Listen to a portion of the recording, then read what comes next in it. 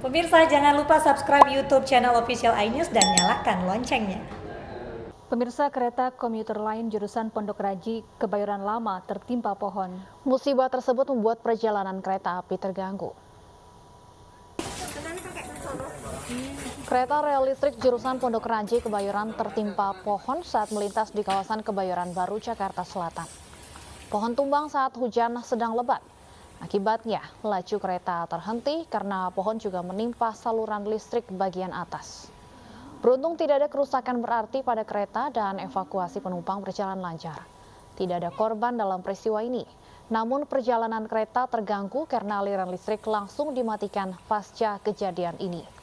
PT KCI langsung menurunkan petugasnya untuk menebang, memotong dahan pohon yang menimpa kabel dan kereta rel listrik.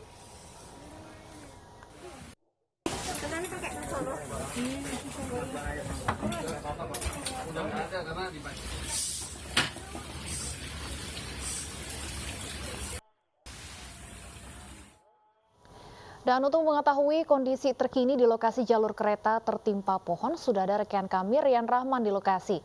Rian, bagaimana nasib para penumpang KRL di sana? Baik, Safa dan juga Stefani, saat ini uh, di kondisi tepatnya rel ber kereta berhenti, uh, para penumpang sebagian ada memilih untuk meninggalkan kereta dan ada juga untuk bertahan. Hal ini dikarenakan para penumpang lebih memilih di dalam kereta lantaran enggan untuk uh, keluar dari kereta dan menunggu agar kereta berjalan dengan jarak tujuan yang mereka tempuh. Saat ini di kondi, uh, lokasi kereta berhenti sedang dilakukan evakuasi dengan memotong sejumlah pohon yang tumbang di saat uh, sebelumnya pada pukul 14.15 tadi angin kencang merubuhkan sejumlah uh, pohon yang berada di lokasi uh, jalur kereta api Pondok Ranji dan Kebayoran Lama. Akan tetapi aliran listrik di sekitar lokasi sempat padam sehingga kereta yang berada saat ini di jalur Pondok Ranji dan Kebayoran Lama terhenti. Kembali studio. Uh, Rian, apakah PT KCI menyediakan alat transportasi untuk mengangkut para penumpang yang tertahan di dalam kereta? Saat ini belum terlihat uh, transportasi yang disediakan oleh KCI. Uh, bisa kita lihat sebagian dari penumpang uh, memilih untuk menetap di dalam kereta api dan sebagian juga memilih untuk pergi meninggalkan rel untuk kembali ke, ke rumahnya masing-masing. Baik, terima kasih Rian Rahman atas laporannya. Kami akan menunggu informasi terbaru dari sana. Selamat bertugas kembali. Dan pemirsa kami juga sudah terhubung melalui sambungan telepon dengan Vice President Corporate Secretary KI Komuter Ana Purba. Selamat sore Mbak Ana. Selamat sore. Baik, Mbak Ana, bagaimana penanganan uh, KRL yang tertimpa pohon di kawasan Kebayoran Lama sejauh ini? Ya, jadi sampai saat ini memang petugas kami fokus untuk uh, melakukan evakuasi baik kepada penumpang yang masih ada di atas KRL, kemudian evakuasi jalur relnya supaya bisa cepat dilalui uh, kembali.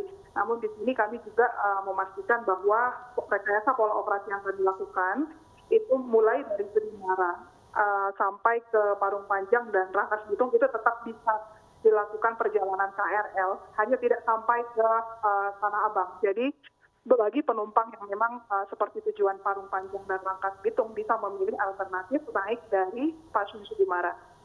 Karena ini memang kita melihat bahwa uh, sore hari biasanya ada penumpang yang memang uh, ingin kembali ke arah uh, Parung Panjang ataupun ke Rangkas Bitung. Jadi bisa mengambil alternatif dari Sudimara. Nah, untuk uh, Tanah Abang ke Sudimara ini, ini masih dalam terus kami evakuasi dan uh, informasinya kami akan update terus melalui media sosial kami di Komuter Line, kemudian di KRL Akses juga. Jadi kepada pengguna jasa komuter lain uh, untuk melihat update-nya. Namun jika ada uh, acara atau rencana yang memang tidak bisa ditunda jika menggunakan transportasi lain kami siap uh, melayani pembatalan tiketnya. Namun dapat kami informasikan kami saat ini terus berupaya untuk melakukan evakuasi di jalur rel. Kemudian untuk uh, jurusan Pampang sampai ke Rangkas itu kami tetap bisa melayani melalui stasiun Sudimara. Baik, uh, Mbak Ana, kendala apa saja yang ditemukan dalam proses evakuasi pohon tumbang di rel kereta saat ini? Iya, kalau dalam tahap evakuasinya ini pohonnya kebetulan uh, lumayan besar-besar ya. Kemudian uh, yang pertama keselamatan, karena ini kan ada listrik aliran atas yang harus kami matikan terlebih dahulu untuk melakukan uh, perbaikan di pantograf kami ataupun listrik aliran atas di sekitar uh, kejadian. Kemudian itu kami pastikan aman dulu. Kemudian untuk uh, pohon tumbangnya ini juga harus dibersihkan segera dari jalur karena di jalur tersebut harus tidak ada sisa-sisa uh, potongan pohon. Jadi ini petugas kami sudah ada di lapangan, kemudian untuk melakukan evakuasi baik dari sisa-sisa pohon tersebut dan perbaikan uh, jalur uh, uh, aliran atasnya. Semoga ini kalau sudah selesai bisa dinyalakan kembali sehingga layanan bisa uh, diaktifkan kembali. Baik, Mbak Ana kami garis bawahi informasi yang tentunya diperlukan masyarakat untuk KRL ya. jurusan Rangkas Bitung hanya bisa sampai Sudimara, tidak bisa sampai Tanah Abang. Baik. Untuk Tanah ya, Abang hingga betul. Sudimara ini targetnya kapan bisa kembali normal? Ini kita upayakan secepatnya ya. Ini kan uh, hulu hilirnya uh, kena ya. Jadi uh, ini akan dilakukan rekayasa pola operasi.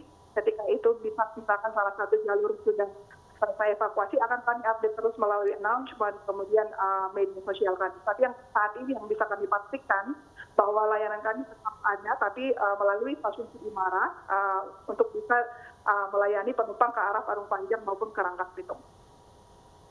Mbak Ana, untuk penumpang yang berada di kereta yang tertimpa pohon, banyak yang memilih meninggalkan rangkaian kereta dan menggunakan transportasi lain. Ini uh, bagaimana nanti untuk kartunya, untuk tap out-nya seperti apa? Uh, di sana petugas kami uh, pasti nanti kami tunggu tujuh hari biasanya uh, untuk uh, pembatalan. Jadi tidak perlu khawatir uh, buat para pengguna jasa komuteran ketika tadi tidak sempat tap out dan kembali uh, dari uh, lokasi kemudian melanjutkan perjalanan dengan uh, alat transportasi lain, kami masih bisa melakukan pembatalan di tujuh hari. Baik. Mbak Ana, bagaimana dengan ya. adanya uh, penumpukan penumpang di uh, beberapa stasiun akibat uh, adanya musibah ini? Iya, uh, kami memantau memang di sekitar uh, stasiun Tanah Abang, tapi uh, kami tetap harus dengan uh, prokes ya, protokol kesehatan yang ketat, yaitu penyekatan, kemudian mengantri dengan tetap jaga jarak. Kami juga me, uh, menginformasikan progres dari evakuasi kami di lokasi sehingga uh, pengguna jasa komuter lain ini bisa uh, melihat alternatif lain ketika ada acara ataupun uh, perjalanan yang segera harus dilakukan. Baik, terima kasih banyak Mbak Ana atas informasinya. Pemirsa Ana Purba, Vice President Corporate Secretary KAI Komuter.